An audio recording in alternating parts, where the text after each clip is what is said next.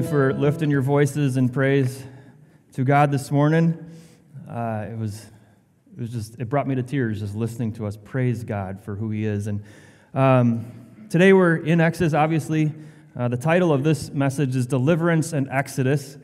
Uh, we're kind of, we're finally getting to that point where Israel is leaving Egypt, and we've been building to this point for so long, right? Uh, the text is going to be Exodus 12, 29, all the way through chapter 13, verse 16. And the theme for today is Remember the Lord's Redemption. Before we get into our message, I want to turn again to our Father and uh, just offer up some prayers to Him. So let's bow. Father, it's this is a week that we set aside for Thanksgiving. It's a time when we stop and look at all the ways that you have blessed us, and we acknowledge that it all comes from you. We know that it shouldn't be just once a year, that we should be thankful all the time. As your Apostle Paul said, we are to rejoice always, pray without ceasing, and give thanks in all circumstances, for this is the will of God in Christ Jesus for us. And so we thank you for another day on planet Earth. You have given each of us life and breath, health, strength to be here. Thank you for that. You've given us all we need food, shelter, clothing, and so much more beyond that. All the blessings that we have living in this free nation jobs, opportunities, possessions, hobbies. Thank you for these undeserved gifts of your kindness. Thank you for our families, our spouses, children, parents, friends, for this body of believers. Each person, each family that is here is a gift and blessing from you, precious in your sight, loved and protected, graced and accepted. Thank you for being such a good God and Father. Paul said that we're to be thankful in all circumstances. And Father, many folks don't particularly like the circumstances they find themselves in right now. Trials, difficulties, temptations, discouragements, health issues are not things that we like. For many people, things are not as they had hoped they would be. However, Father, we thank you for each and every circumstance represented in this room the difficult ones, the joyous ones, and everything in between. We're thankful because we know that you are in the process of sanctifying us, healing us, strengthening us, changing us into the image of Jesus, and use all these things for our good and for your glory. Uh, in the spirit of thanksgiving, Father, I also want to pray for our world right now. Father, you are in heaven, and holy is your name, as we sang. As there is war in Israel and Ukraine and other parts of the world, we pray as Jesus taught us to pray. May your kingdom come and your will be done on earth as it is in heaven. And thank you for giving us this prayer. And so we pray that you will destroy evil and cause your righteousness to triumph. We pray for your people who are in these war torn places right now, your people who have placed their faith in Jesus and who are waiting for his return, just like we are. Give them hope in Jesus, strength of faith to persevere, and may they keep their eyes upon Jesus, to trust that he has the victory, whether in life or in death. And we pray for their safety and protection, but even more importantly, I pray that you would supply boldness and courage to your people around the world to proclaim the life saving power of the blood of Jesus, our sacrificial lamb who was slain for the sins of the world. And as your gospel goes forth, may thousands and millions of people place their faith in Jesus as they witness the love and the courage and the grace of your church and hear the message of your salvation. And may you receive all the glory. And so now, as we take a few moments to read your word, this ancient text from Exodus that explains your salvation in your glory and your majesty, may you help us to open our ears and our hearts to hear the voice of your Holy Spirit and to respond to what He says. May we remember your gracious redemption. May we worship you in spirit and in truth. we pray this in the name of Jesus, the only one who's worthy of our worship and praise, the King of kings and Lord of lords. Amen. I'm going to start out with a question. I like to do this once in a while. Worship. What is it? What is true biblical worship? Kind of hard to define if you think about it, right? We've read that the people of Israel bowed down and worshiped the Lord twice in the book of Exodus, once in chapter 4, verse 31, and then in chapter 12, verse 27. But what does that mean? What were they actually doing? Right? Were they singing? Is worship singing songs? Seems that Western Christianity has shrunken the meaning of worship to just that singing, which it is. I mean, we, we sing in the morning, and that, that's, that's part of worship, but is worship just singing? How does the Old Testament define worship? Or how does it describe worship? What does, it, what does the New Testament say about it? How does Jesus and the apostles describe worship? We're going to delve into this topic a bit over the next few weeks, uh, and then early in January as well when we come back to uh, the book of Exodus. Uh, so today's message is hopefully going to start us thinking about this idea of worship. Now, worship in the Old Testament has two basic uh, meanings it means to bow down in humble homage before a lord, a master, or a king. That's, that's the most prominent meaning, to bow down in homage. It can also mean to serve a lord, a master, or a king. So worship can also has this, has this element of service. In the New Testament, uh, worship has one more added nuance. It has both of those, but also adds the idea of to bow down and kiss the hands or feet of the Lord, Master, or King. So, this, this humility. Uh, the famous Psalm 95 starts out in the first five verses by calling all the people to sing and make a joyful noise unto the Lord and uh, come into God's presence with thanksgiving. And then in verse 6, it transitions, Psalm 95, to say, Oh, come, let us worship and bow down. Let us kneel before the Lord our God, our Maker.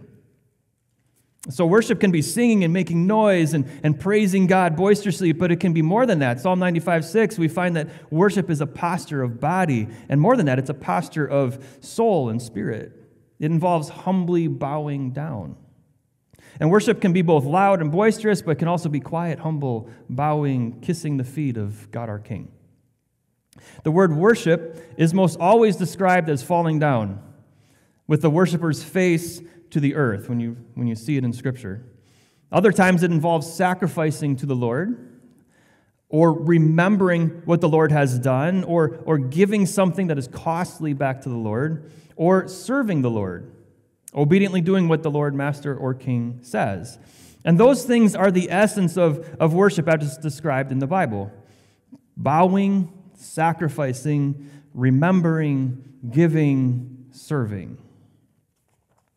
And as we go through the remainder of Exodus, we're going to learn a whole lot more about worship, and, and we're going to do some biblical redefining and biblical reimagining of what worship looks like for us as Christians today in 2023, right? And why do I bring up worship now, though, right? We, uh, what does that have to do with Exodus 12, 29 to 13, 16, with Israel coming out of Egypt and all of this, right? Actually, has a lot to do with our passage for today. Before we get to that, as Americans, we believe that all men are created equal. And we are. It's a biblical truth. All humans are created equal. No one is more important, more significant than anybody else. But as we live in that biblical reality, we often, we often forget something, something very basic and very important. God was not created. God was not created. And because he was not created, God is not equal with us. God has no equal. And so when we enter a relationship with Him, it is not a relationship of equality, it is a relationship of inequality. Creator God with created humans. It is a relationship with a power differential, right? God is all powerful, we are completely weak. There's a lot, a knowledge differential, right? God is all knowing, infinitely wise, and we are foolish and ignorant. Stupid, really. In other words, He is God and we are not, and He is eternal and we are created. And what is fascinating about the relationship that God invites us to have with Him, as described in the Bible, is that we are most fully human, most fully what He created us to be, when we are in a worshipful relationship with Him, when we embrace the inequality. That means that we are in the best place possible when we are on our knees before Him, ordering our lives under the reality that God deserves our worship, our service, our remembrance, our sacrifice in other words, God speaks, we listen. God commands, we obey. God gives, we receive. God acts, we remember, right? Being fully human means submitting ourselves to the fact that our lives belong to Him and not ourselves. God says, This is how you should live your life. And we do it His way because, number one, He knows best. Number two, He gives us His power to do it. Number three, it pleases Him to do it that way. And number four, because it's for our own good. And this is the idea behind biblical worship, the abundant life that Jesus talks about and invites us into. You see, worship is about way, way more than singing songs. It's about that. But worship is more than emotionally talking to God and singing or in prayer. Worship is more than reading the Bible, worship is an attitude, it's, it's an action. Worship is a posture, worship is a remembrance. Worship is a way of life, it's an outcome of a God focused life. You see, God redeemed Israel, book of Exodus, right? God redeemed Israel so they could have a relationship with Him as their God, right? Remember why God was redeeming the nation? Why he had killed all the firstborn in Egypt? Why God had gone back and forth with Pharaoh? And why he had devastated Egypt with the plagues? It was so that the whole world would know that he is the Lord God and that Yahweh alone is the Lord of the entire earth. And he wants us to be in relationship with him. And so the relationship that God was initiating was a relationship in which God's people worshiped him as God and enjoyed an abundant life with him as they ordered their lives around him. They were redeemed for relationship defined by worshiping Him. And the reason that God saved Israel through the Exodus was so that they could go and worship Him. What was Moses constantly saying to Pharaoh? Ready? Let my people go so that they may what? Serve me. Right? And that word serve uh, uh, that's used there is carries the idea of worshipful service. It was about worshiping God. And so Lord God sent Moses to lead the people out of Egypt so they could worship Yahweh, to bow before him and serve him, order their lives around him. And right here in these chapters for today, we're going to look at um, God was beginning to describe this worshipful way of life to his people and he was establishing what a God focused culture would look like. The passage for today is kind of strange. We're getting delivered, and then he gives us two little or three little chunks of, of material that don't seem out of place, and we're going to look at why he puts it there. So today's passage teaches us that one aspect of worship is remembrance. Israel was to remember. They were to remember the position the Lord had chosen for them, which was remembering who they belonged to, that they belonged to the Lord God Almighty. And then it was remembering the salvation that the Lord provided for them, remembering the covenant that the Lord had made with them, and remembering the commands that the Lord had given to them. This is what they were to remember. So, a God focused culture, a worshiping culture, is a remembering culture. So, our first point is remember the Lord's salvation. Now, we're going to go back to verse 29 again. Um, you can just, fo- I, I already read it, so you can just follow along as I kind of step through that. But um, Number one is remember the perilous situation that you were in. God's asking Israel to remember the perilous situation they were in, right? That's verse 29 to 33. Talks about midnight, Lord struck down all the firstborn in the land of Egypt, from the firstborn of Pharaoh who sat on the throne to the firstborn of the captive in the dungeon, all the firstborn of the livestock. It was a perilous situation. Pharaoh rose up at night, he and all his servants and all the Egyptians, and there was not a there was a great cry in Egypt, for there was not a house where someone was not dead. It happened. The Lord came through Egypt, killed all the firstborn in the land, all the firstborn who were not under the blood, just as he said he was going to do. And the cry in Egypt was great. There was not one house where someone was not dead. I want you to think about that for a second. Everyone in your neighborhood wailing because every house has someone dead in it. We used to live in the city of Waukesha, Wilson Avenue, uh, great little place. Houses are pretty close together can hear everything going on in the house next to you. You can watch people eat dinner next to you, that sort of thing, right? If every house in that stretch between Sunset and Main Street Waukesha had a dead person in it, goodness, right? How would you ever recover? The cry would be great in a bad sense. It would be horrible. It would be wailing, hopelessness, right? We will all be dead, is what the Egyptians said, right? They were in great fear. They, so the Egyptians sent them out in haste, like, get rid of these people. We are done. We are going to all die, right? And so the Israelites were to remember that perilous situation they were in, right? Remember that night, how dark it was. The God of judgment had come, and there was nothing that was going to stop him except the blood. Except the blood. And then they were to remember the provision of the Lord. Verse 34. So the people took their dough before it was leavened, their kneading bowls being bound up in their cloaks and their shoulders. The people of Israel had also done as Moses told them, and they'd asked the Egyptians for silver and gold jewelry and clothing. And the Lord had given the people favor in the sight of the Egyptians so that they let them have what they asked. And thus they plundered the Egyptians. And, and the people of Israel journeyed from Ramses to Succoth, and we talk about that. We've, we've read how they, they left Egypt, okay? So, but God provided everything that the, Egypt, the Israelites would need to escape his judgment for their journey and for their set, settling in the new land. So he, the blood, he he, told them about the blood. He provided that blood, right? The blood of the substitutionary lamb was the first thing that he had provided. None of their firstborn died that night because God had provided the way for the Israelite firstborn to be redeemed through the blood of the Lord's Passover lamb. And then he provided wealth for the future, so the jewelry and clothing for the people. The Israelites were slaves, right? How would they ever provide for themselves when they got out of the land? And then they were going to be in the middle of a desert for a long time, and yet God showed them favor as they plundered the Egyptians. And the Egyptians gave them everything willingly, so they went out with the wealth that they needed for the journey. They had food for their journey, so they took their dough in their bowls, they took their flocks and their herds, which served a dual purpose, right? Food and worship, sacrifice, all that. And then they took the livestock for their worship, for their service to the Lord. And so flocks of sheep, flocks of herds of cattle, the Lord provided for sacrifices to him. So flocks, herds, which be sacrificed to the Lord as a constant reminder of the importance of substitution, the blood that, that God used to, to save them. So, so God protected, God, God provided everything that they would need as they left. He, and then He brought them out, it says.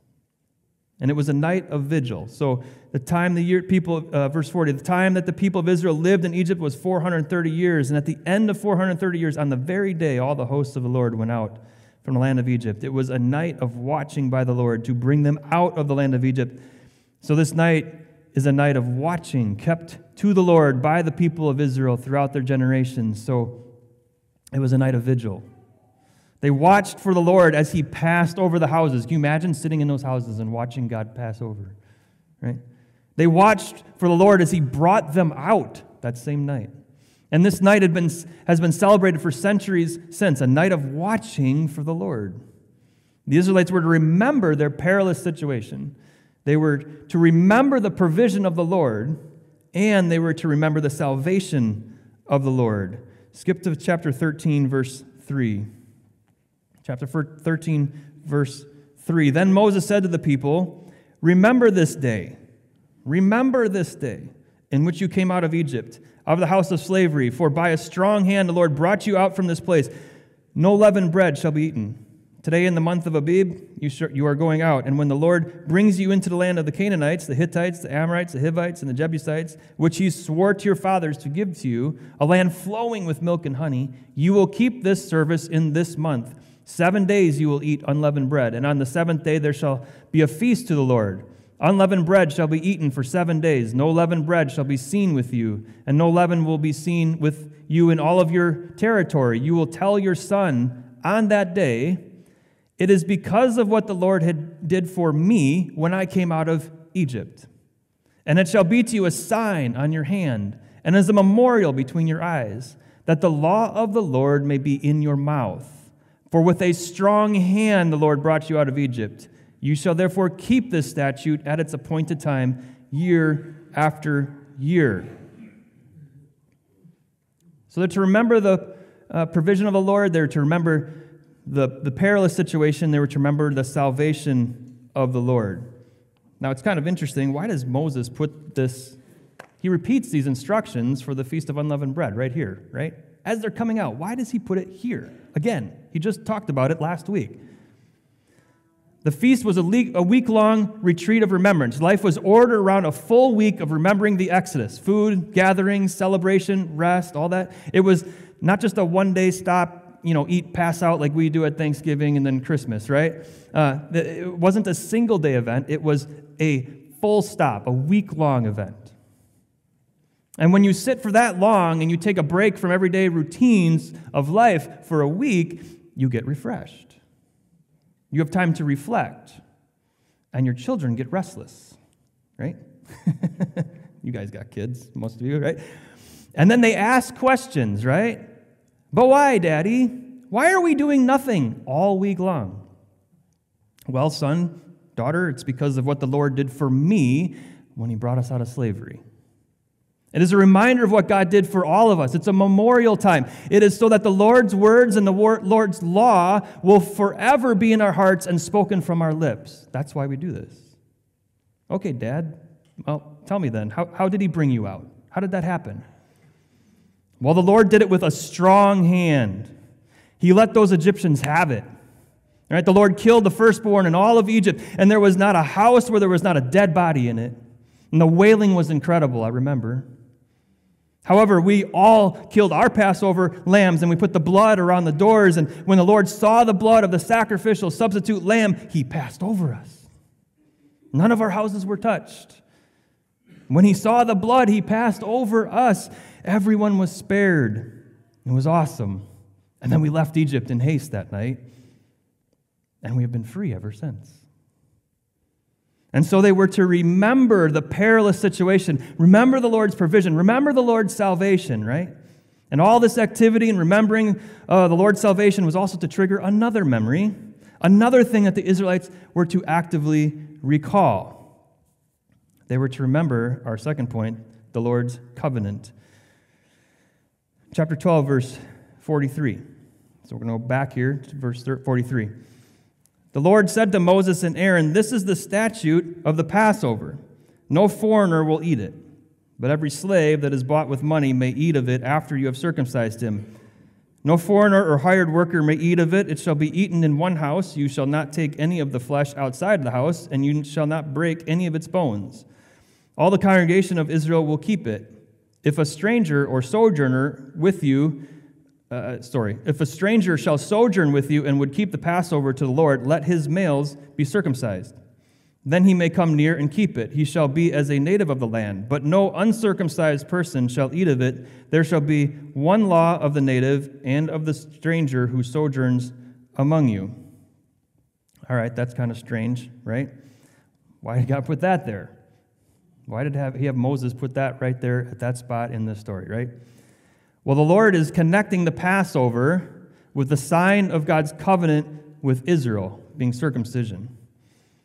We have to turn back to Genesis chapter 17 just for a quick minute here to figure out what's going on here. Genesis chapter 17, you can listen to me as I read it, or you can turn there yourselves. But Genesis 17, verse 1, God is making his covenant with Abraham. God says, or uh, it says here, when Abraham was, when Abram was 99 years old, the Lord appeared to Abram and said to him, I am God Almighty. Walk before me and be blameless, that I may make my covenant between me and you, and may multiply you greatly.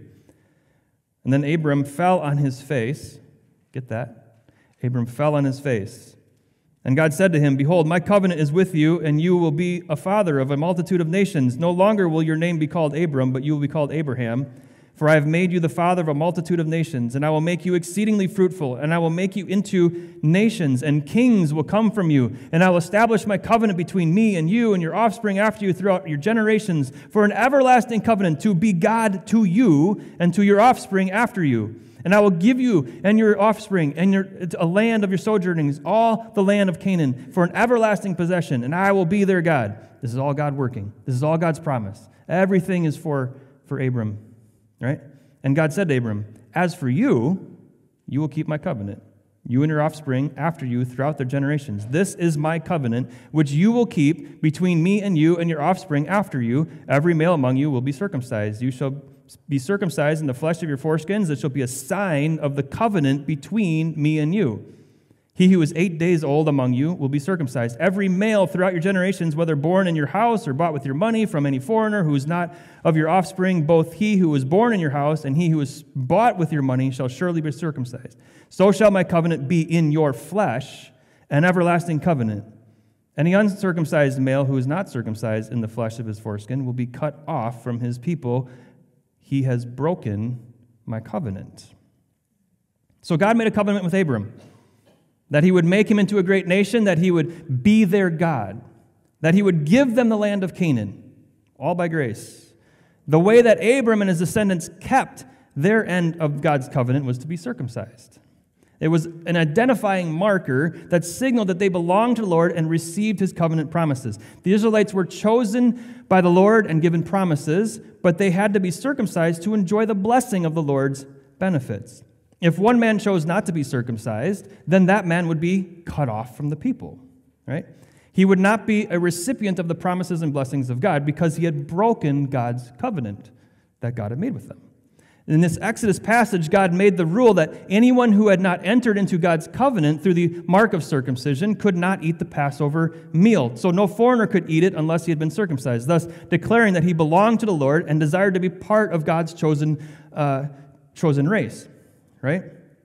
If a sojourner wanted to partake in Passover meal, then he would need to be circumcised to partake of it. He would need to keep his end of God's covenant, enter into God's covenant through the way that God defined through circumcision. And so God was not excluding Gentiles from partaking in Passover meal, from entering God's covenant with his nation, the nation of Israel. They just needed to do the things the way God determined that they should be done. Only then could they partake in the Passover meal. And there was one more thing that the Lord wanted the Israelites to remember to do, something that would demonstrate that He, Yahweh, was most important in their lives, and that is the consecration of the firstborn. Look at chapter 13, verse 1.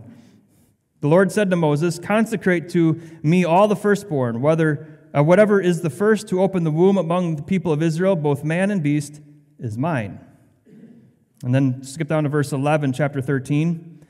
And when the Lord brings you into the land of the Canaanites, as he swore to you and your fathers, and shall give it to you, you shall set apart the Lord all that first opens the womb. All the firstborn of your animals that are males shall be the Lord's. Every firstborn of a donkey you will redeem with a lamb. Or if you will not redeem it, you will break its neck. Every firstborn of man among your sons you will redeem. And when in time to come your son asks you, What does this mean? you will say to him, by a strong hand the Lord brought us out of Egypt, from the house of slavery. For when Pharaoh stubbornly refused to let us go, the Lord killed all the firstborn in the land of Egypt, both the firstborn of man and the firstborn of animals. Therefore I sacrificed to the Lord all the males that first opened the womb, but all the firstborn of my sons I redeem. It will be a mark on your hand, frontlets between your eyes. For by a strong hand the Lord brought us out of Egypt. So consecration was a sign of their dedication to the Lord, right? So the people were commanded to set aside the firstborn of animal or children to the Lord. The firstborn male animal uh, would be a sacrifice to the Lord, or to keep it, they would sacrifice a lamb instead to be the substitute. The firstborn son of every family would need to be redeemed with a sacrificial lamb. The lamb would be the substitute. It was saying the animal or this child belonged to the Lord.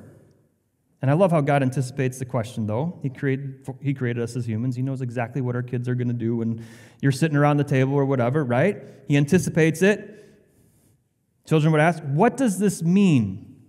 Right? Why do we do this? It seems very strange. Why do you consecrate the firstborn to the Lord? What, why do you set the firstborn apart as belonging to the Lord? Why the sacrifice? Why, Daddy? And so God gave the answer for the fathers to give to their sons and daughters. I ransomed my firstborn like God ransomed his firstborn.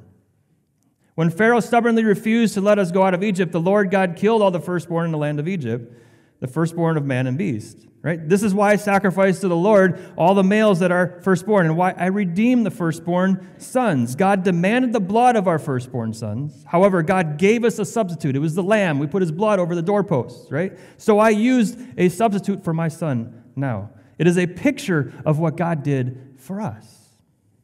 And at the beginning of this explanation, and at the end of this explanation of, of these things that God is talking about in here the, the consecration, the Passover, the circumcision, all that. God gives the reason for consecrating the firstborn, for celebrating the feast of unleavened bread, all of this.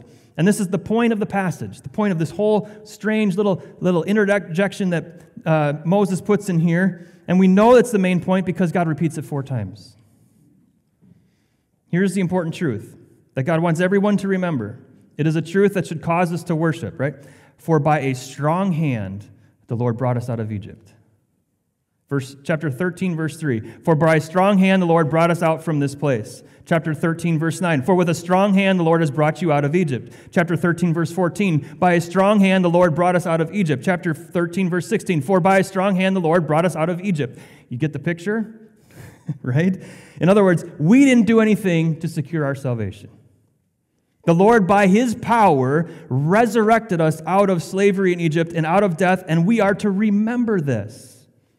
That's what this is all about. I, we were powerless to save ourselves, but God, with his powerful hand, brought us up out of slavery. I, we were the object of God's wrath, but God, by his powerful hand, gave us a way to be redeemed through the blood of the substitutionary lamb. I, we were doomed to die, but God, through his powerful hand, gave us life through the blood of another.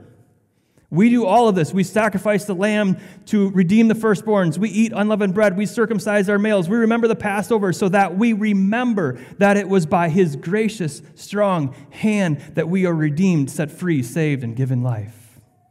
So that we remember the Lord's redemption through the blood of the Passover lamb. These are acts of worship. These are not works we do to obtain our salvation. It has already been done. We celebrate it. You see, all of these things pointed forward also to a fuller redemption, the redemption of all of mankind. Because you, you want to know what's so incredible? Jesus actually fulfilled all of these requirements. Luke chapter 2, verse 21 On the eighth day, Jesus was circumcised and he was named. In Luke chapter 2, verse 22 to 24, Jesus was consecrated or set apart or dedicated to the Lord, just as the Lord commanded in this passage. Mary and Joseph took him there and they made the sacrifice. In John chapter 11, verse 45 to 53, John describes a situation where Jesus, Jesus died for the nation. He was the substitute. And then Mark chapter 10, verse 45 says, For even the Son of Man, Jesus said, For even the Son of Man came not to be served, but to serve and give his life as a ransom for many. Blood, ransom, all of that, right? Jesus fulfilled all of this in the New Testament. Now back to Exodus. What was the response of the people to all of this? Exodus chapter 12, verse 50. Right smack dab in the middle of all of this is a key. Verse 50. All the people of Israel did just as the Lord commanded Moses and Aaron. And on that very day, the Lord brought the people of Israel out of the land of Egypt by their hosts. So they did just as the Lord commanded, and the Lord did just as he promised. I love it. When God talks about remembering, he's talking about more than a cognitive action. He's suggesting more than something that happens just in the mind and in the head. Remembering also happens in the heart. And the best way to the heart, according to Scripture, is through action. There is a physical element to remembering because there is a physical element to worshiping, bowing down. The notes in the Net Bible, I read this last week, uh, say this the, the point of the word remember in Hebrew is not simply a recollection of an event, but a reliving of it a reactivating of its significance. In covenant rituals, remembrance or memorial is designed to prompt God and worshiper alike to act in accordance with the covenant. I want to take you back through a few key verses from today's passage in Exodus chapter 13, verse 3. Then Moses said to the people, Remember this day in which you came out of Egypt, out of the house of slavery, for by a strong hand the Lord brought us out of this place. Exodus chapter 12, go back up a few verses, verse 26 to 27. When your children say to you, What do you mean by this service? you shall say, It is the sacrifice of the Lord's Passover. They're recalling something, right? Sacrifice of the Lord's Passover. For he passed over the houses of the people of Israel in Egypt when he struck the Egyptians, but spared our houses. A remembrance.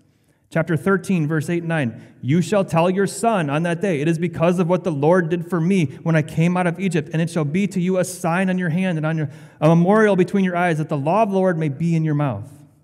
Exodus 13, verse 14 to 16. It shall be a mark on your hand and frontlets between your eyes, for by a strong hand the Lord brought us out of Egypt. I want to take you to Psalm 78. It's going to seem a little strange to go to a psalm right now. You want to turn over to Psalm chapter 78. In Psalm 78, there are four movements. And if you guys are familiar with poetry, singing songs like that, you know, there's movements within songs and things like that, stanzas. Four main sections. Verses 1 to 8 set the tone for the entire psalm and explain what it's going to be about. And then verse 9 to 20, they talk about the exodus from Egypt, right? And then verse 21 to 23 talk about Israel's time in the wilderness and then verse 24 to 72, really long section, talk about the signs and wonders that God did in Egypt before he brought them out. So it's this psalm is about what happened here, right? And there's a reoccurring theme in this psalm. You wonder what it is? Remembrance. I'm going to read verse 1 to 4. The psalmist says, Give ear, O my people, to my teaching, and incline your ears to the words of my mouth. I will open my mouth in the parable. I will utter dark sayings from of old. Listen, things that we have heard and known that our fathers have told us. We will not hide them from our children, but tell the coming generation the glorious deeds of the Lord and of his might and the wonders that he has done. Right? Think back to Exodus. What were they supposed to do, right? He established a testimony in Jacob, appointed a law in Israel, which he commanded our fathers to teach their children, that the next generation might know them, and the children yet unborn, and arise, tell them to their children, listen, verse 7, so that they should set their hope in God and not forget the works of God. Remembrance, right? So we've heard all this stuff. The, the author's saying, We've heard all this stuff before. What I'm going to tell you is nothing new. It's been passed down from generation to generation. Our, our fathers told us every year at nauseum what this is. These stories and wonders of the Lord we know and we remember. And why? So that we don't forget. Verse 5.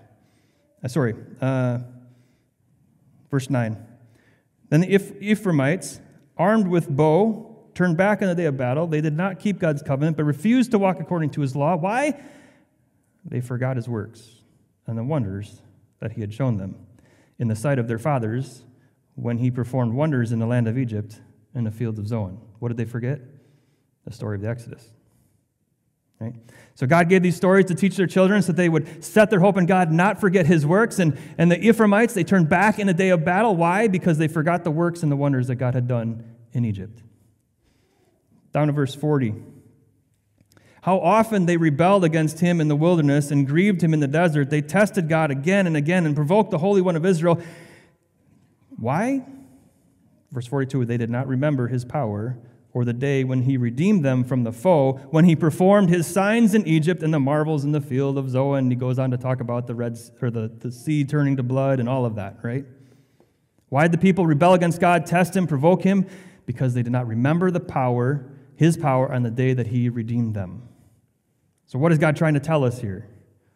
That remembrance is of utmost importance. It is a necessary element of worship. God wants us to remember the position that the Lord chose for us, that we are His and we belong to Him. Remember the salvation the Lord provided for us through Jesus, the sacrificial lamb. Remember the covenant that God made with us, that, that we are freed from our sins and we have eternity in heaven with Him because of Jesus. And remember the commands that the Lord has given to us to love one another. And how he wants us to remember these truths is similar to how he wanted Israel to remember these truths.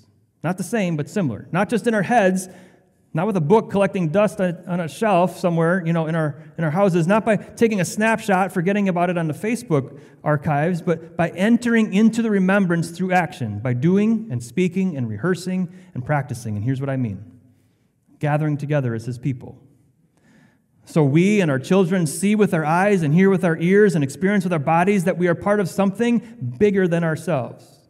We are part of Jesus' body, the church, and we belong to Him.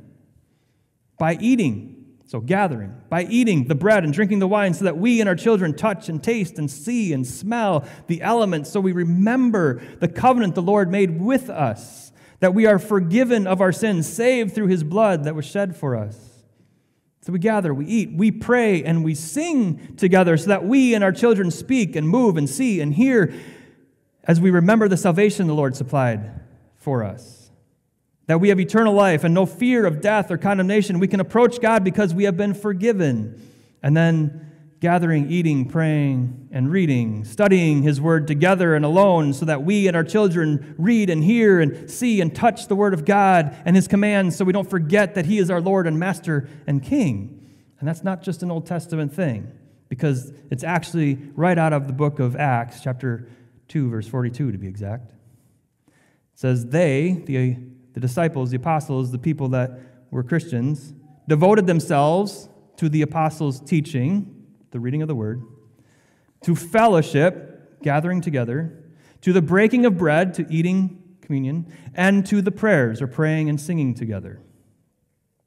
A God focused culture, a kingdom of God culture, a people of God culture, the kingdom of heaven culture, the, the culture of the redeemed is a worshipfully remembering culture, remembering the position the Lord has chosen for us, which is really remembering who we belong to, that we belong to Lord God Almighty through Jesus. Remembering the salvation the Lord provided for us, through Jesus, remembering the covenant God made with us through his blood, remembering the commands that God gave to us so that we don't forget, so that our children won't forget. I want to end with an incredible picture of what heaven looks like. Turn to Revelation chapter 5. This is the last passage for today.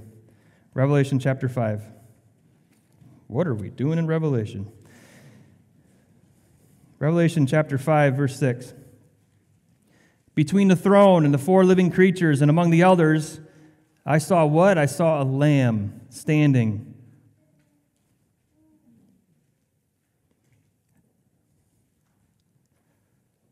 As though it had been slain with seven horns, seven eyes, which are the seven spirits of God sent out into the earth. And he went and took the scroll from the right hand of him who was seated on the throne. And when he had taken the scroll, the four living creatures and the 24 elders fell down before the Lamb, each holding a harp and golden bowls. Get it? They fell down in worship, full of incense, which are the prayers of the saints. And they sang a new song, saying, Worthy are you to take the scroll and to open the seals, for you, why, why are you worthy? For you were slain, and by your blood you ransomed people for God from every tribe and language and people and nation and you have made them a kingdom and priests to our God, and they will reign on the earth.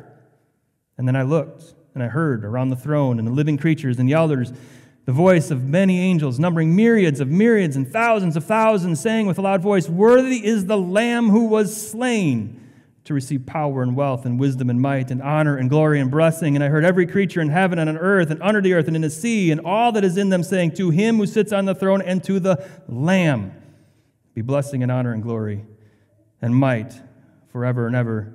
And the four living creatures said, Amen. And the elders fell down and worshiped. You know what struck me from that passage?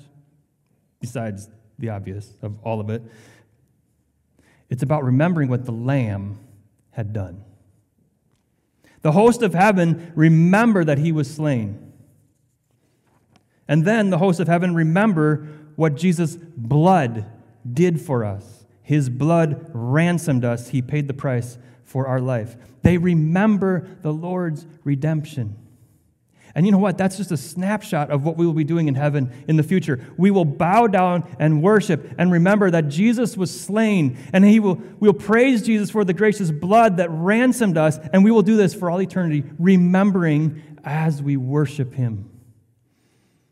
And as we begin this now, while we are still on earth, we worship by remembering that Jesus was slain and that he ransomed us by his blood as we devote ourselves to the apostles' teaching, to the reading of the word, to fellowship, gathering together, to the breaking of bread, eating communion, fellowshipping together, and the prayers, praying and singing together, so that we don't forget, and so that our children don't forget, and so that we remember the Lord's redemption.